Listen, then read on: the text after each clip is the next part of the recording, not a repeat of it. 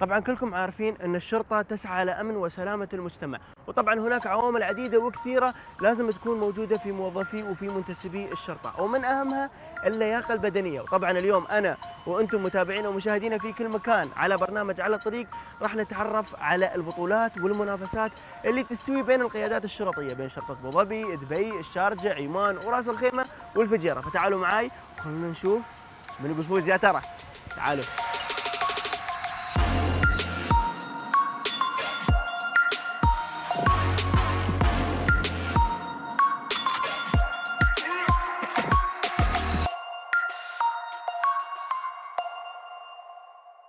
العميد عصام عبد الله ال علي مدير مركز التربيه الرياضيه الشرطيه حقيقة وأنا في الطريق شفت تحديات تصير بين منتسبي الشرطة فقلت لازم أجي وأعرف أكثر شو علاقتهم في الرياضة. بسم الله الرحمن الرحيم. أرحب فيك عيدي في بطولة وزارة الداخلية. بلا شك تولي وزارة الداخلية والقيادات الشرطيه اهتمام كبير بالرياضة والرياضيين. يمكن هذه واحدة من البطولات وزارة الداخلية. ونحن سعيدين بتواجدكم وانكم تشوفون هؤلاء الشباب واهتمامهم بالرياضة يمكن يمكن البطولة متنوعة ال 100 وال 200 والماراثون والعاب القوة وإلى آخره. بنقول تنوع كثير وكبير في الرياضات اللي تستوي بين المنتسبين، لكن ابى أعرف كيف التجهيز يستوي. شوف علي بلا شك كل قيادة تجهز فريقها ولكن إحنا التجهيزات مو بس لبطولة أو لموسم الرياضه اليوم أسلوب حياة في المجتمع خاصة المجتمع الشرطي.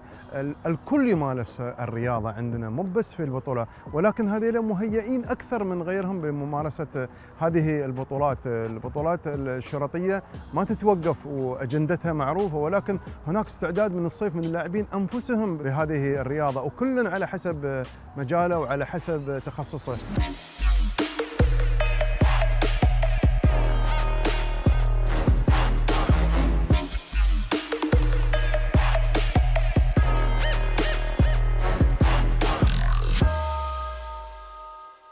حقيقة القيادة العامة لشرطة أبو ظبي شاركت في بطولة الألعاب العالمية لرجال الشرطة والإطفاء وحققت المركز الخامس بين 533 قيادة شرطية وهذا إنجاز كبير. ألف مبروك. و40 ميدالية. ذهبية. آه ذهبية متنوعة بين الذهبية وبين البرونزية وبين الفضية علي يمكن نحن محظوظين في القيادة العامة لشرطة أبو ظبي أن تولي القيادة عندنا اهتمام كبير بالرياضة والرياضيين. أيضا عندنا ما ننسى دور الموارد البشرية بدعم هؤلاء الرياضيين. بالمشاركات حتى الخارجية. علي علي نحن يمكن قبل أسبوع جايين من أمريكا كان هناك مشاركة بالآيرون مان. لو تشوف الناس على اللي مستوى العالم كامل. على مستوى العالم كامل نخبة الرياضيين اللي صعدوا عندنا وتأهلوا عندنا كانوا لاعبين أو ثلاث تأهلون. اليوم نحن تأهلوا عندنا ست لاعبين وكانت لهم أرقام أفضل من السابق. من بينهم محترفين أبطال الاولمبيات فكانت مشاركتنا بحد ذاتها يعني فخر لنا نحن أن دولة الإمارات متمثلة بالقيادة العامة لشرطة أبو ظبي وهذه رابع سنة نشارك. هذا مثل تأهيل يعني مو بأي حد يقدر يتأهل لهذه البطولة. فعلا. ودعم القيادة لنا لبطولات كثيرة يشكرون عليه. إحنا محظوظين في القيادة العامة يقول لك الشرطة دائما تسعى لأمن وسلامة المجتمع. طيب اليوم إحنا نبغى نعرف شو هو التحفيز أو التفريغ اللي يحصلونه المنتسبين على سبيل يوصلون للمستوى اللي هم فيه؟ شوف علي عندنا السياسة لها تفريغ، التحفيز له تفريغ، هذا كله مأخوذ بعين الاعتبار في القيادة العامة لشرطه أبو ظبي، قد ما عندك بطولة راح تاخذ تفريغك، راح تتدرب والشباب عندنا في أثناء التفريغ مواظبين على على على تدريباتهم والدليل النتائج اللي قاعدين يقدمونها، التحفيز هناك تحفيز من القائد العام، تحفيز من المدير العام، تحفيز من مدراء القطاعات، اليوم نحن ما نتكلم عن الرياضة ترى الشرطة هذا دور رجل الامن اليوم والحمد لله إن رجل الامن عندنا صارت عنده ثقافة الرياضة أكثر من يمكن شخص ثاني. قام كل شخص يحاول يتعلم قام كل شخص يحاول يسعى يحصل له مدرب ياخذ خبرات يتنوع في مهاراته اللي عنده.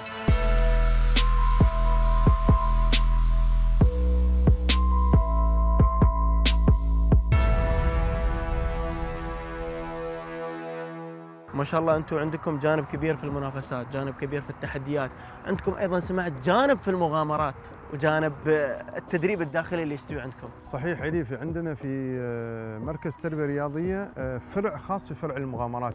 يمكن لو تشوف المغامرات كانت مغامرات محدودة في أماكن الناس تعرفها. اليوم طلعنا فريق من عندنا آه،. راح راح راح لاماكن ما حد يعرفها. لو أقول لك عن أسماء ما حد يعرفها في في الدولة بشكل عام. وهي اللي اخذناها كمغامرات. المغامرة مو بس تسلق جبال واوديه وإلى آخره مغامرات وفيها مبيت وفيها وفيها تعايش. تعايش وفيها تحمل وفيها أشياء كثيرة. فعلا العميد عصام في المغامرات منتسب الشرطة يحصل على مهارات جديدة منها العمل الجماعي وأخرى من هذه المهارات اللي تساعده أنه يحمي أفراد المجتمع. أنا حقيقة مستانس في هذه البطولة الجميلة فحسبت ما أطول عليك شو رأيك نكمل البطولة هذه ونستمتع في الاجواء وإن شاء الله فالكم الذهب نشوف البطولة مع بعض الحين. يلا إن شاء يلا الله بسم الله.